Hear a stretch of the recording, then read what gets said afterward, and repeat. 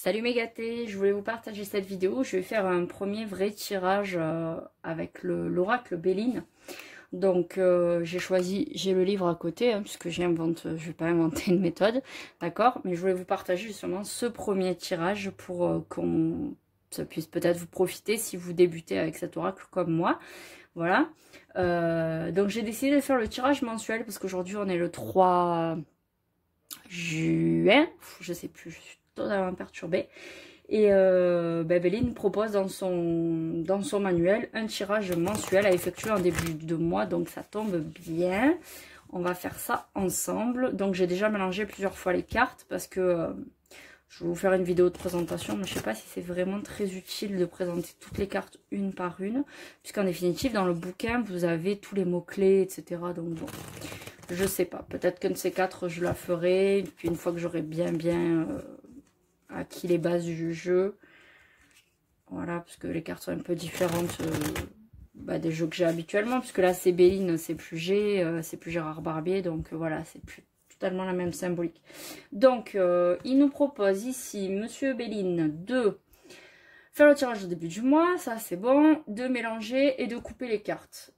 Hop, donc ici on a l'argent, la coupe, et on a l'inconstance. Donc euh, le fait de ne bah, pas être constant, d'être un peu... Euh, euh, d'aller un peu au gré du ventre certainement.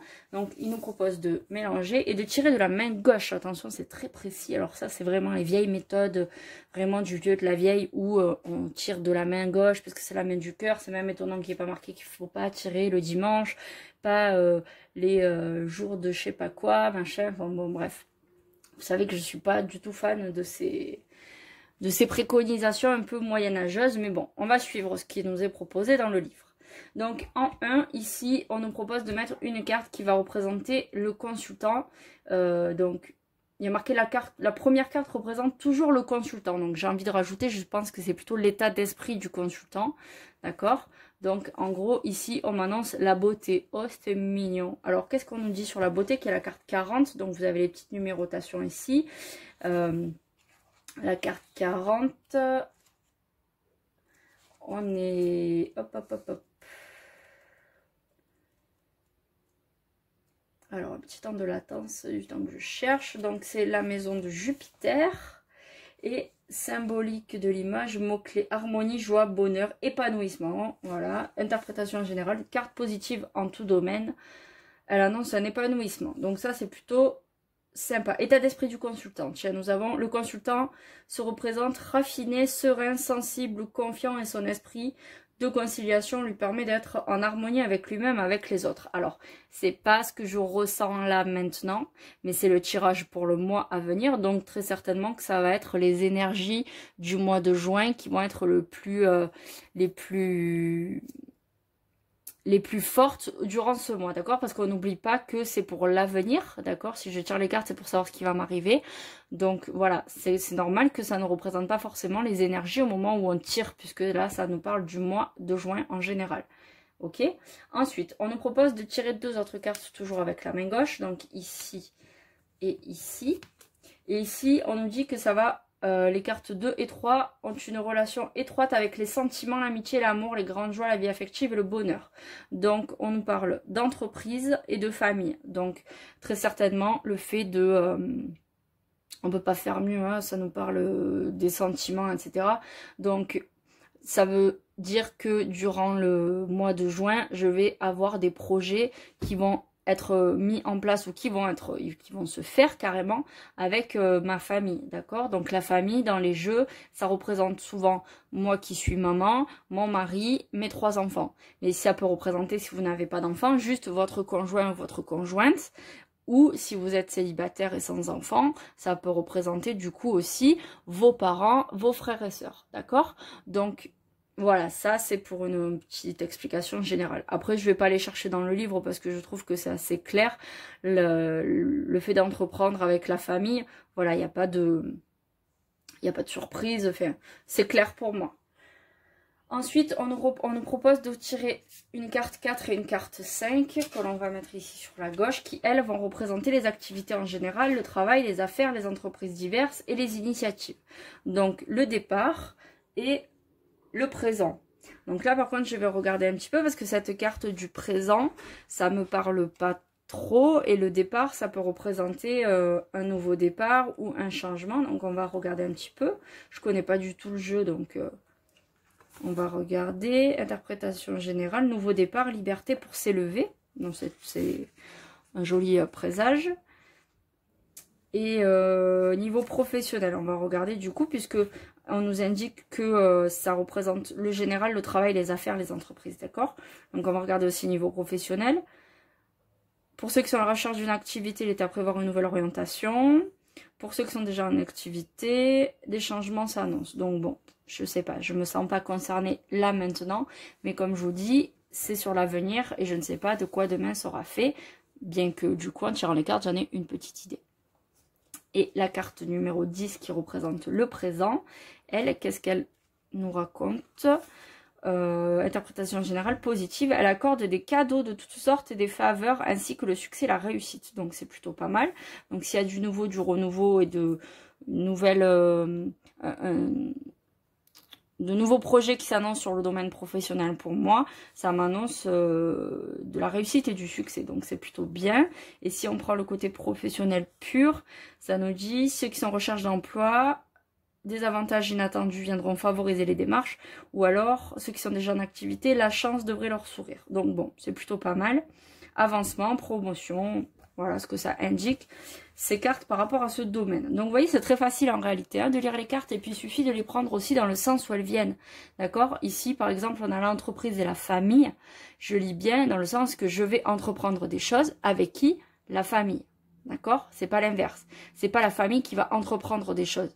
C'est moi, c'est mon tirage, c'est moi qui va entreprendre des choses pour faire euh, avec ma famille ou qui vont jouer sur ma famille, d'accord? Mais c'est pas l'inverse. C'est une nuance qui est très subtile, mais qui est très importante quand même.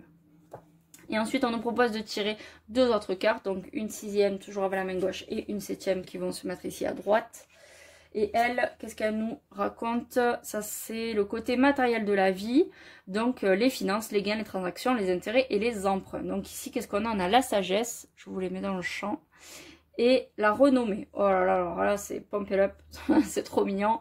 La sagesse, donc ça veut dire très certainement... Euh, en plus, c'est dans la même maison. C'est marrant parce que ça doit très certainement renforcer la symbolique, le fait que ce soit dans la même maison. Ici, c'est marrant parce que c'est un peu euh, la dualité de la, de la lune et du soleil. Donc, euh, je trouve ça marrant, mais je pense que voilà, c'est fait exprès qu'il ait noté les maisons pour justement qu'on en tienne un petit peu compte. Et donc ici on est dans la même maison et euh, la sagesse financière ça doit certainement vouloir représenter le fait de faire plus attention à ses dépenses et de ne pas dépenser n'importe quoi et d'être soucieux de savoir comment on va placer notre argent, je suppose. On va regarder par exemple. Donc la carte 42, la sagesse, sérénité, prudence, pop, pop, pop, matériel. Au niveau matériel, la sagesse, c'est avec sagesse, logique et prudence que, le consultant gérera ses finances. Voilà, bon, ben, ça nous apprend enfin. Moi, en tout cas, je trouve que ça m'apprend rien de nouveau. Je trouve que c'est assez euh, logique, parlant. Enfin, je sais pas peut-être l'habitude avec les autres jeux de d'avoir un peu des, similitudes, du coup je me retrouve. Et en 43 on a la renommée, donc ça veut dire que sur le plan euh, financier, il y a une certaine reconnaissance. Voyons voir, affectif, matériel, les efforts dépasseront les, espérances financières pardon, et assureront la prospérité. Placement investissement seront gérés avec talent. Bon ben voilà, voilà, je trouve que c'est très facile. Hein. Ce jeu est franchement super simple à utiliser. Je m'attendais pas à ça. Euh, vraiment que dire de plus? Bah, Pas grand chose parce que vraiment c'est très très très facile à utiliser. Je pense que je vais m'en servir souvent. Déjà pour changer un peu de l'oracle G où euh, j'ai l'impression d'avoir fait un petit peu le tour quelque part. Et puis, euh, non, vraiment très très facile à utiliser. Je vous conseille. Après, c'est toujours pareil, si vous cherchez des jeux pour débuter, euh, l'Oracle G, le manuscrit, clairement Béline, c'est des jeux qui sont simples. en plus, voilà, vous c'est numéroté, donc vous, avez vous allez facilement vous retrouver dans le fascicule. Vous avez les maisons, donc une fois que vous avez compris comment ça marche, c'est aussi assez facile. Vous avez le nom des cartes, donc ça vous permet d'avoir un premier mots-clés, d'accord, pour la représentation. Après, comme je vous ai déjà expliqué, Prenez le temps lorsque vous avez un nouveau jeu de regarder les cartes une par une, ce que je n'ai pas encore fait d'ailleurs. Euh, donc euh, je vous donne des conseils, faites ce que je vous dis, mais ne faites pas ce que je fais.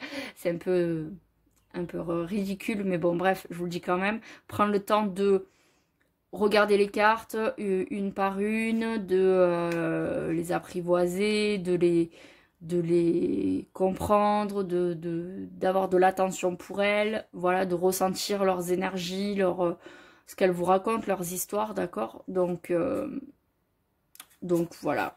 Bah écoutez, sur ce, je vous souhaite euh, une bonne fin de journée ou de soirée, peu importe. Et puis je vous dis à bientôt pour de nouvelles vidéos.